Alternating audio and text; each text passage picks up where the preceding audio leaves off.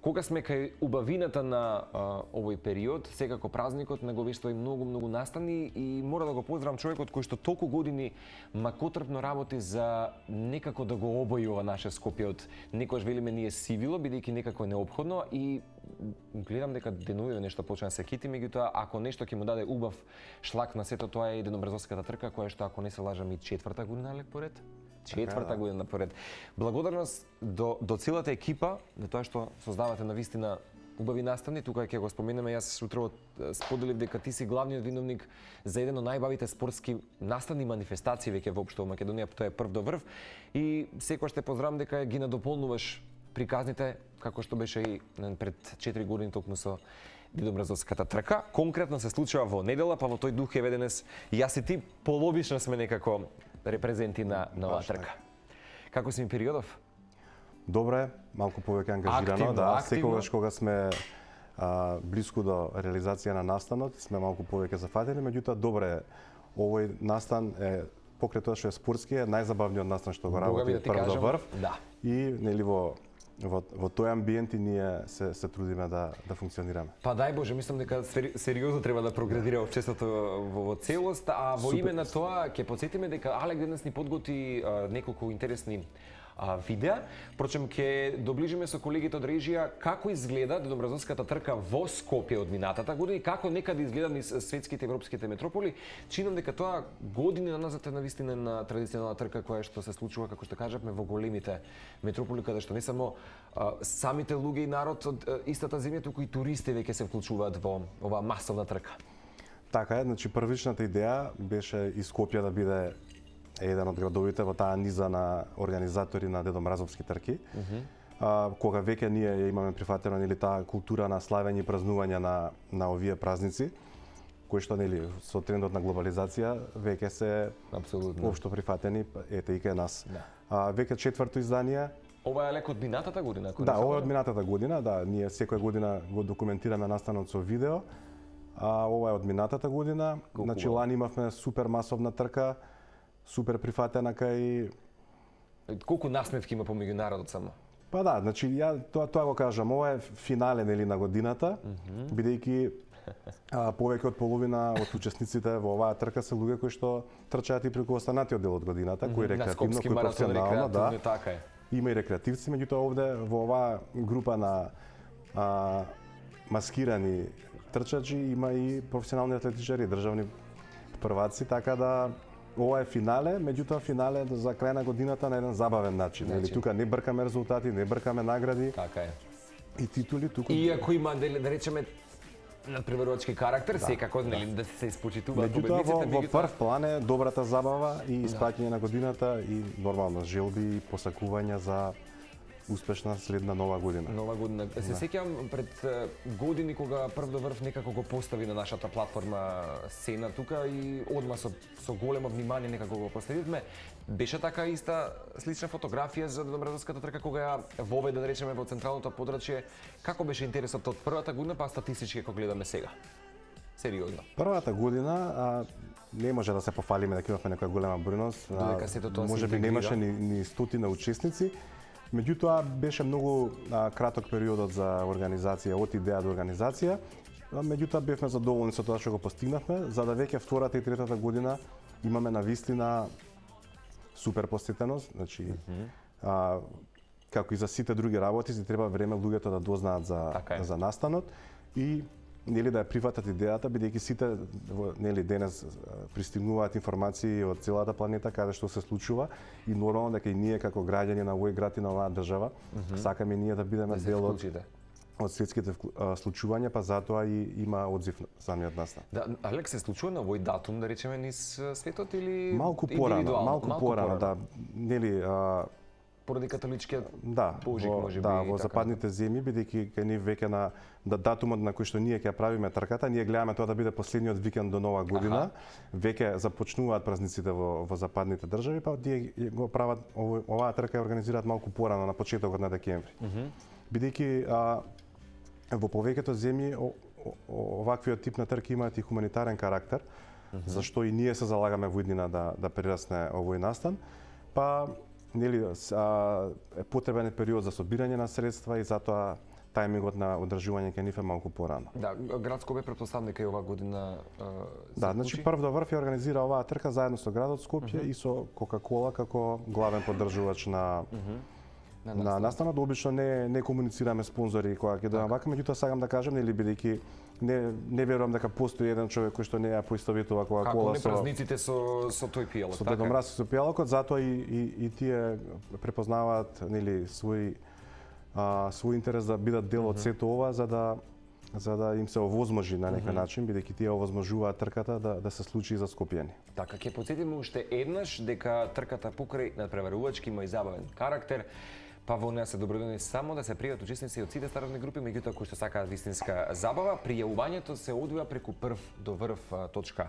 МК со Алек само што видовме дека веќе има голем број и речиси уште неколкумина ќе имаат чести привилегија да ги добијат дедомразовските костуми, бидејќи оваа година бидејќи има голем интерес, од 200 с- зголемивте на 300 учесници. Да, сколивме на 300, за- веќе сме уште не знам 50 на ко, а, костуми има за за делење, што е одлично. Еве апел до оние кои што сакаат да бидат дел од оваа трка да појдат на првдоврв.мк да да ги прочитаат информациите, доколку сакаат да се пријават, треба да остават само основни информации, да ја напишат својата новогодишна желба, бидејќи после трката имаме и лотарија, па вистинскиот Значи, Дедо Мраз. сериозна забава да, ќе има. Да, да, вистинскиот Дедо Мраз ќе исполни новогодишни желби на најсрекните. Да, е сега ќе подсетиме дека бидејќи многу од вас беа приклучени во изминатите три изданија, ќе може да ги искористат и минатогодишните костими, за Да, ова тоа за ова трка. а, тоа го воведуваме од оваа година бидејќи гледаме дека а, интересот е се поголем, а нашите можности за нели за за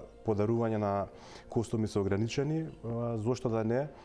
За нели за помала цена некој да се пријави да учествува со доколку веќе бе- де има костум од минатите години. Е сега ќе апелираме за сите оние кои што и ќе се пријават, за жал кои што нема да бидат во тие 300, затоа ќе апелираме повторно да побрзаат, ќе мора да бидат во костимите, тоа е и нели основната причина за тоа што се случува нели така масовно да гледаме Дом Да, за да се учествува во трката мора да Момци бидат учесниците облечени во демравски костум, нели за да бидат да бидеме сите исто облечени, да бидеме А духот да биде. да го направиме амбиентот таков каков што посакуваме. Да, стартот и финишот колку километри е трката уште еднаш да подсетиме?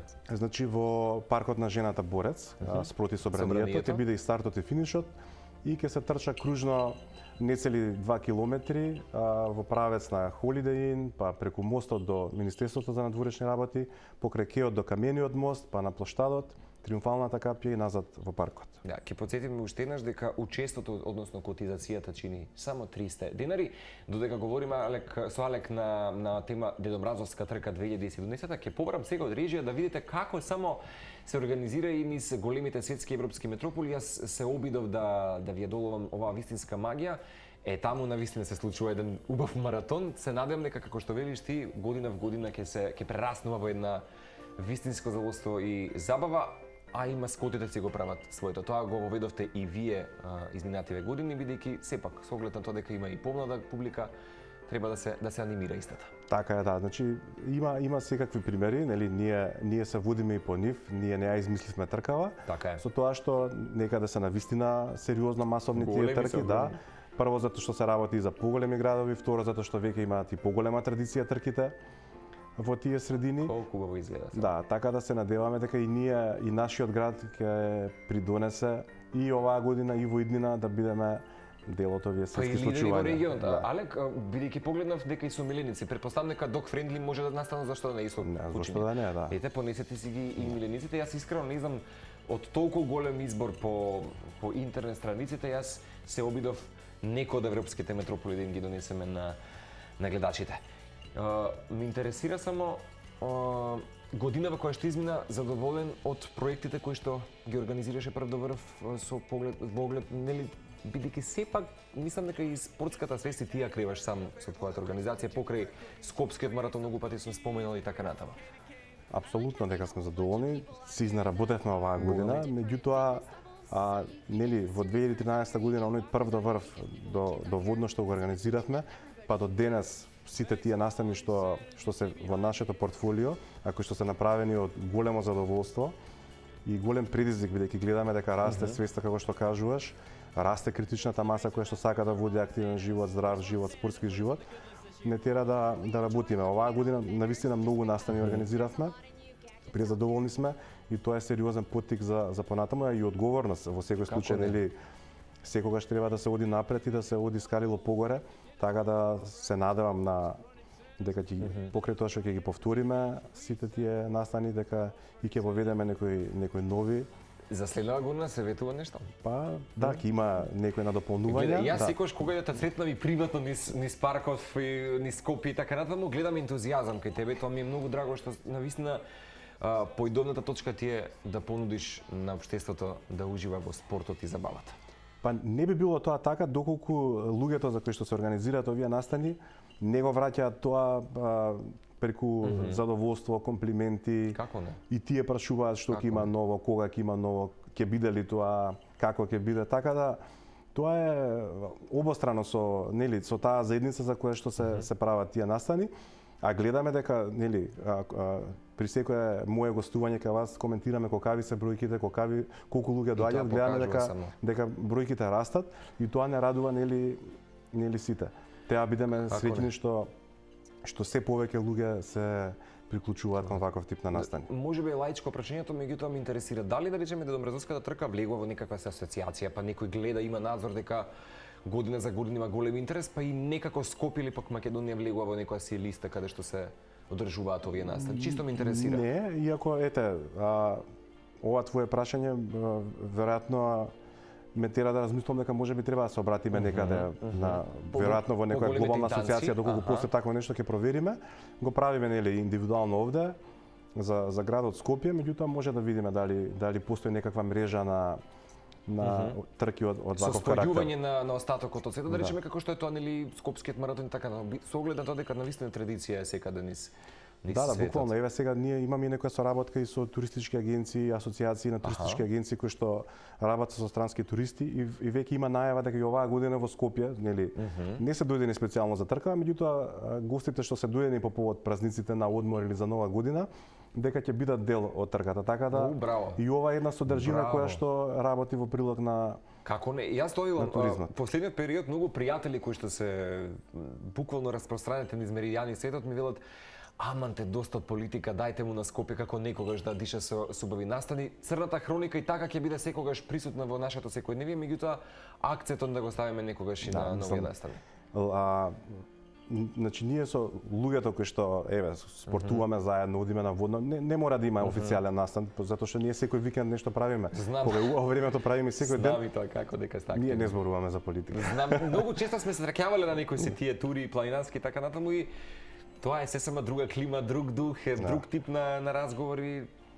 Затоа видам дека вие сте главните протагонисти во оваа спортска приказна поврзана со Скопје по големите градови. Ке потсетим и уште еднаш, освен сите возрастни категории, дека и компании, институции ќе може да се пријават на трката, па како тимови да бидат дел од истата. Да, секој е добре доден, бидејќи ние во нашите настани, еве, прв да го спомнавме на водно, правиме нели таа бизнис ран трката за компании. За компании, така, Така да веќе е разработен тој механизам на пријавување тимови од компаниите.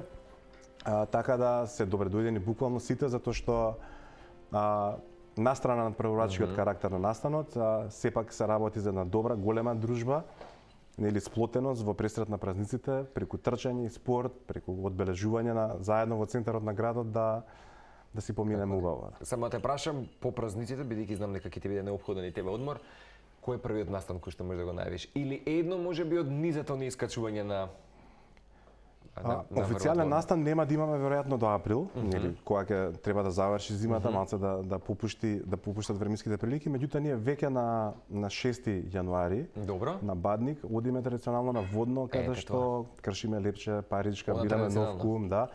Така да тоа луѓето кои што кои што гравитираат во во овие кругови, на овие настани знаат дека веќе ние и претходно може да се случи да отидеме, а ова е, ова е веќе традиција, Ова да, секоја традиција. година си има си има кум, тоа е некое задоволство, Аха. така ете ние го правиме за за нашето големо семејство и друштво. Како не? Ќе ти заблагодарам што секогаш гледаш од твоето скапоцено време тука да го искористиш да ја ете Јас сум исто така многу благодарен, значи а, без вас, нели, без гласот да допре до вашата Така е. публика, Така е. нашиот труд не би бил не би бил толку ефективен, така да благодарам многу. Во секое време. А, вие сте стварно на, на наша страна во промоција на, на Во сите секој работи. време Да. се се гледаме следнава година за многу повеќе настани и го чекаме новитетот со задоволство кој што ќе ќе го најавите, а ќе потсетим уште еднаш првдоврв.мк уште сега може да си го пријавите вашето учество за новата четврта поред дедобразовска трка. Елена вели супер, кул, може би ние да се приклучиме, не се знае, може би?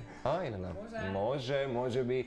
Ќе го сторите тоа, како што кажавме, учеството е само 300 денари, а оно што на крајот од денот ќе резултира е добрата забава секако и позитивна корист од истото.